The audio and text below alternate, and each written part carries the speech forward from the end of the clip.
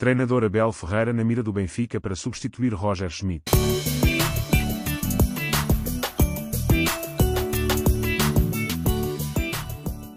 Bem-vindos adeptos benfiquistas. Já peço vosso gostei, subscreva o canal e ligue as notificações de vídeos para receber nossos conteúdos. O Sport Lisboa e Benfica sondou nos últimos dias a situação do treinador Abel Ferreira, atualmente no comando dos brasileiros do Palmeiras. A notícia foi adiantada primeiramente pelo portal Nosso Palestra e confirmada pelo jornalista Rodrigo Fragoso. Os encarnados são atualmente orientados pelo alemão Roger Schmidt, que nesta temporada não tem agradado bastante, sobretudo pelos resultados indesejados da UEFA Champions League.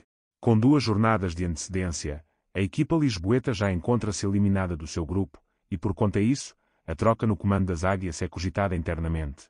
Após encerrar sua carreira como jogador, atuando pelo Sporting, rival dos encarnados, Abel Ferreira iniciou sua trajetória como treinador nas categorias inferiores da equipe de José Alvalade.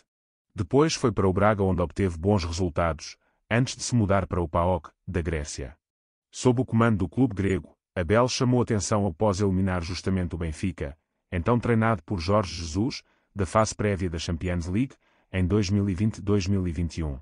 Abel Ferreira, recorde-se, tem contrato com o clube brasileiro que prolonga-se até o final de 2024 e já cogitou anteriormente voltar ao seu país natal por conta da família.